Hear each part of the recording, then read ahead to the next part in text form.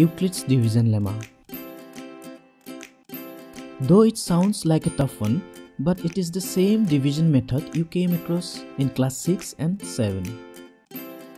Let us consider an example to understand it easily. Suppose you have 20 balls and you are requested to put them in a box. But the condition is that only 12 balls we can put in the box. So after placing 12 balls inside the box, only 8 balls will be left.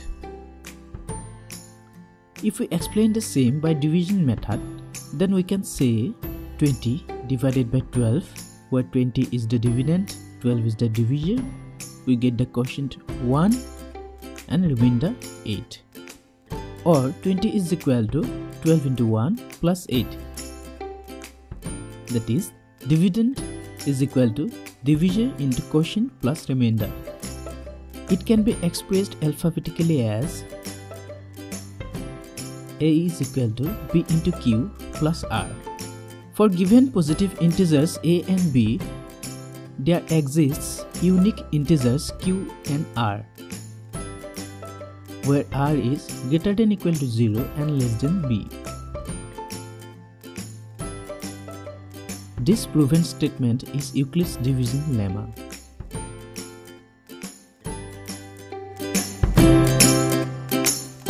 Using the Euclid's division lemma, we can determine the HCF of two numbers. The condition is that the remainder must be equal to 0. The divisor will be the HCF of the given numbers if the remainder is 0. If you are asked to find the HCF of two numbers, then how will you find it? We calculate HCF by using two methods by prime factorization and by division. Using prime factorization method, let us find the HCF of 30 and 15. 30 is equal to 2 into 3 into 5, 15 is equal to 3 into 5. 3 and 5 are the common factors of 30 and 15, so the HCF will be 3 into 5 equal to 15. If we use the division method, then Dividing 30 by 15, we get 2 quotient and 0 as remainder. That is 30 equal to 15 into 2 plus 0. Since the remainder is 0, so the divisor 15 will be the HCF. In this method, when remainder is 0, then we can find out the HCF very easily. But what will happen if R is not equal to 0? Again, consider the example of 20 balls. Find the HCF of 20 and 12. Dividing 20 by 12, we get 1 as quotient and remainder will be 8.